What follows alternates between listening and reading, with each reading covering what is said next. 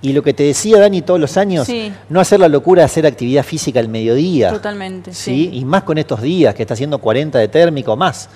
Eh, yo sé que a veces hay gente que el único horario que tiene es cortar al mediodía, pero tratar de hacer actividad física o antes de ir a trabajar bien temprano cuando sale el sol o a la tardecita, al mediodía para transpirar más y quemar más grasa, eso es una mentira. No se quema grasa, se pierde líquido y es muy malo para el organismo.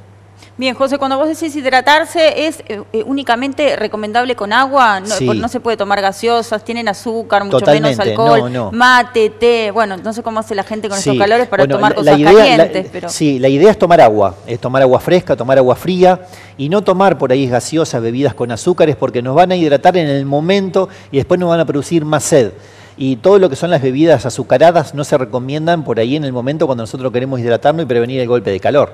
¿Sí? Así que bueno, eso es fundamental, mantenerse siempre hidratado constantemente, siempre y cuando uno no tenga alguna patología que se lo impida, que realmente es raro, ¿sí? y hacer actividad física a los horarios coordinados y programados, ir bien temprano o a la tardecita. Al mediodía es una locura porque uno no va a quemar más grasas, sino que va, se va a deshidratar y después va a quedar cansado y mareado durante todo el día. Bien, sí, ya nos sentimos mal andando por cuestiones de trabajo u obligaciones, Totalmente. sin hacer actividad física. Totalmente. Eh, por último, eh, nos quita un poco el hambre también esto del calor, ¿no? Vamos Sí. más a la bebida que a la comida, pero si tenés que aconsejar comer, Bueno, eh, hay que comer, ¿sí? Porque Sí. el cuerpo, por más que no por más que el cuerpo no lo pida, que uno esté con ganas de tomar líquido, hay que comer. Hay que tratar de comer, eh, tomar, eh, comer, aparte de tomar mucho líquido, comer muchas frutas y verduras.